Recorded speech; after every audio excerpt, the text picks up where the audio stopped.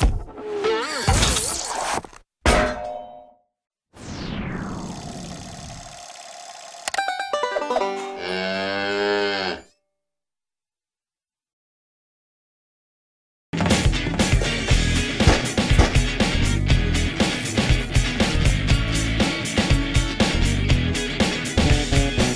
Alright, Duderheads, welcome back to Cinema 4D Bootcamp. I'm Neal Barenblat at CreativeCow.net, and now we're going to be taking a look at how to animate simply inside of Cinema 4D.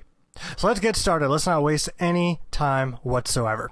So I'm going to make a cube just like that, just like we know how to do from the modeling tutorial, and I'm going to make a keyframe.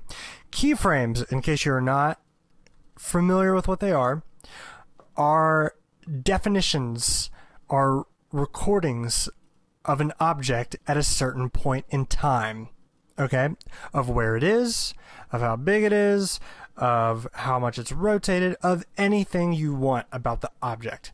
So, right now, it's at this point in space at this point in time. Okay? Oop, undo that. Bring this out. If I click this all encompassing keyframe key right there, and uh, if you look right here, it actually created a keyframe. And here you can see the keyframe properties. It's at the time of zero frames. Its interpolation is spline interpolation. Lock time, lock value, mute, make relative clamp, blah, blah, blah, blah, blah.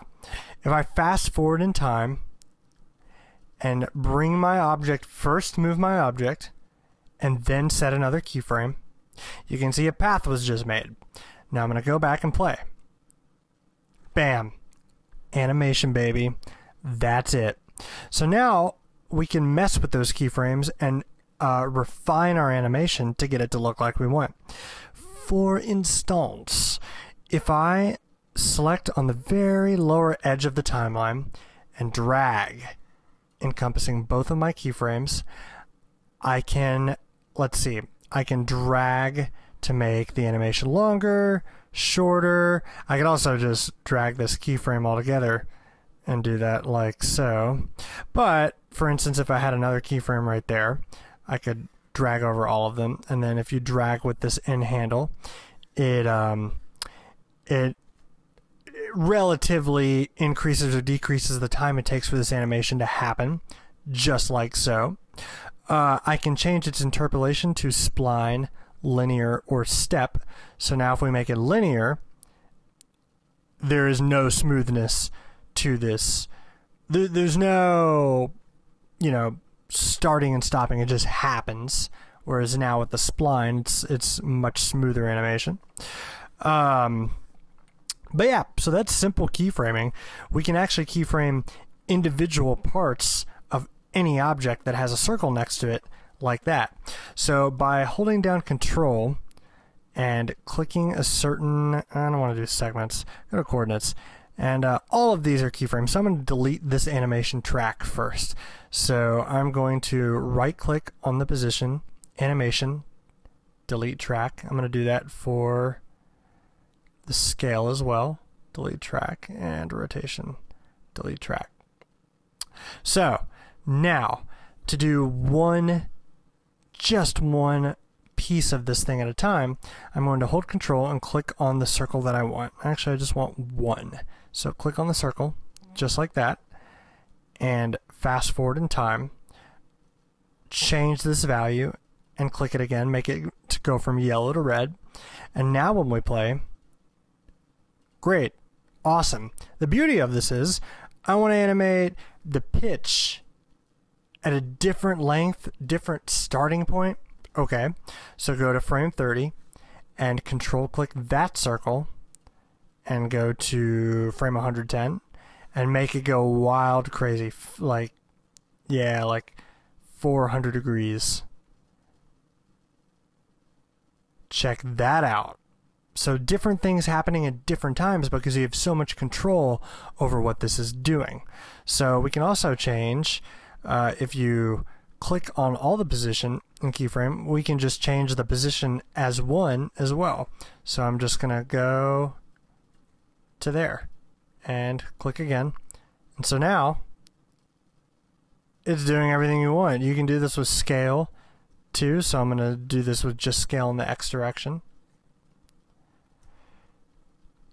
Any property, any property with a circle next to it can be animated. This one right here is kind of an all-encompassing, so if you're doing a quickie, totally fine. It's whatever you prefer. Right here is if you're doing that quickie, you can tell it not to do the scale or rotation properties or the parameters properties by unclicking those. So whatever is highlighted is what's getting keyframed. So that's simple keyframing.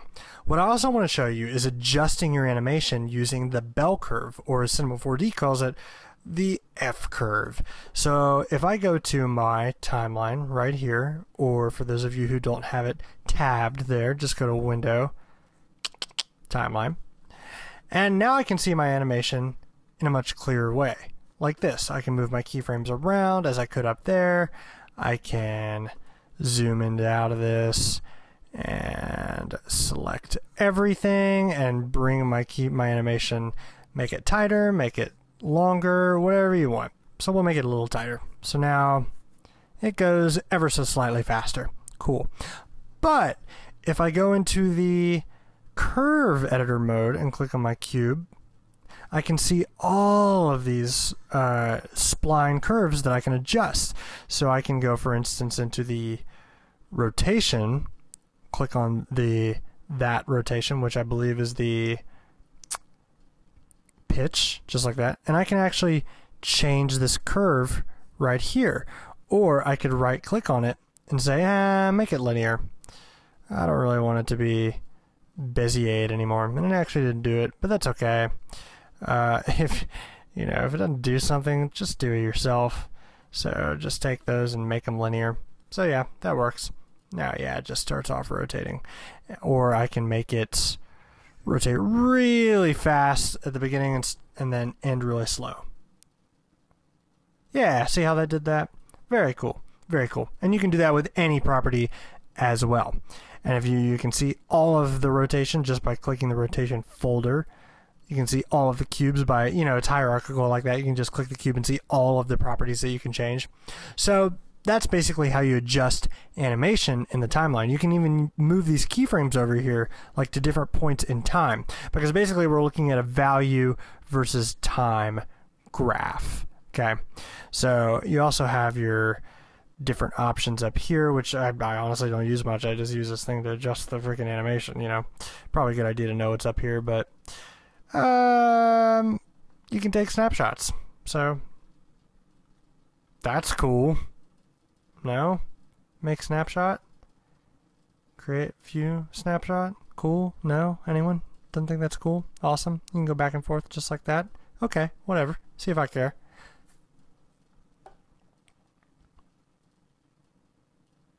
Uh, the other thing we want to look at, which is pretty important, which we actually looked at in the interface tutorial, setting your frames per second. That has to do with animation.